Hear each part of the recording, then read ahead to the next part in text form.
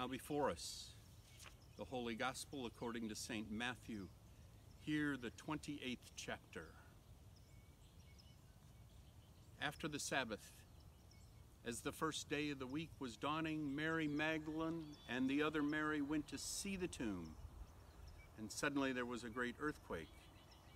For an angel of the Lord descended from heaven, came and rolled back the stone and sat on it.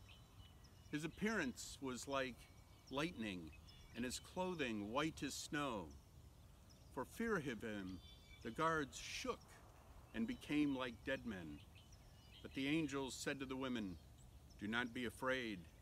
I know that you are looking for Jesus who was crucified. He is not here, for he has been raised, as he said.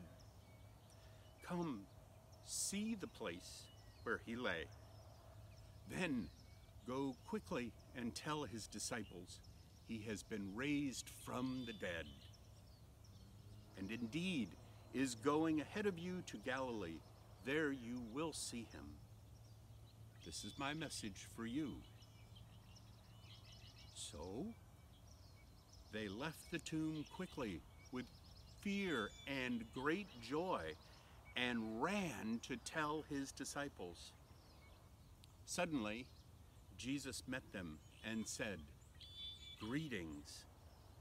And they came to Jesus and took a hold of his feet and worshiped him. Then Jesus said to them, Do not be afraid. Go, tell my brothers to go to Galilee. There they will see me. The Gospel of our Lord. Praise to you, O Christ. Ah, hallelujah.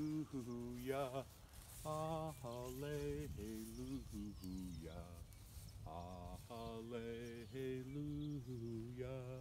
Ah, hallelujah.